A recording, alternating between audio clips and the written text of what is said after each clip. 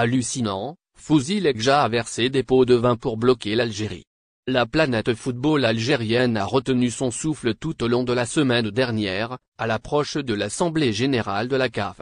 En effet, durant cet événement qui a eu lieu en Côte d'Ivoire, on s'attendait à ce que le président de la FAF, Jaïd Zofizef, gagne sa place au COMEX de la Confédération. Toutefois, Fouzi, l'EGJA serait intervenu pour bloquer l'Algérie. Il est bien étrange de remarquer que quelques jours avant le début de l'Assemblée Générale de la CAF, certaines parties de la Confédération de Patrice Mods ont rassuré Jaïd Zofizef quant à sa victoire. Mais en fin de compte, et comme nous le savons tous, L'ex-président de la FAF a subi une véritable humiliation suite à une défaite écrasante aux élections du COMEX, ce qui l'a poussé à quitter son poste.